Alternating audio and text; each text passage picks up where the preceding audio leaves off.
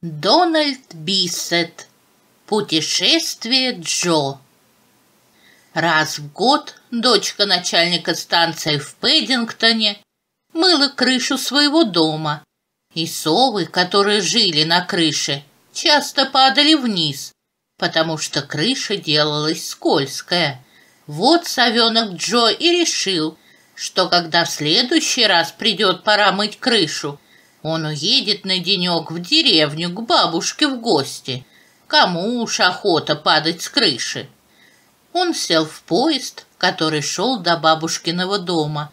Паровоз звали Шервуд, а машиниста — мистер Босток.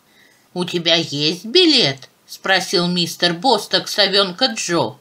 «Конечно», — ответил Джо и показал мистеру Бостоку свой билет. Они поехали. Как только прибыли на бабушкину станцию, Джо побежал к бабушке. Он прекрасно провел день у бабушки на кухне и долго играл с водопроводным краном. Журчит, не журчит. Шервуд тоже неплохо отдохнул и подзаправился углем. А мистер Босток пил чай и ел хлеб с вареньем. Но он ел неаккуратно и испачкал вареньем рельсы.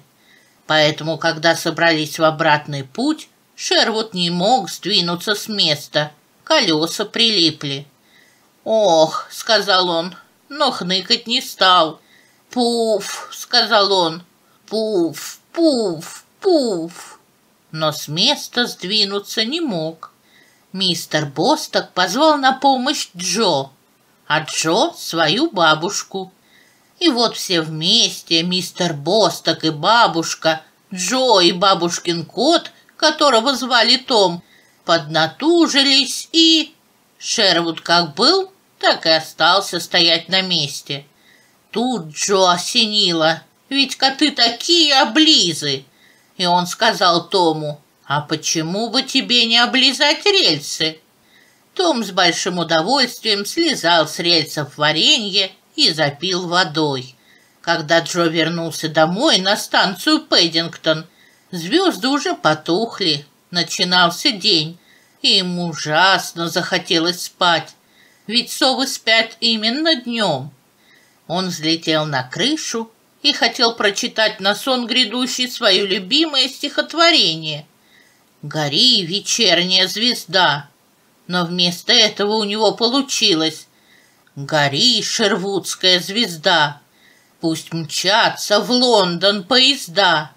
Гори для кошек и собак И для мальчишек-забияк. Проснется скоро детвора, А нам, совятам, спать пора.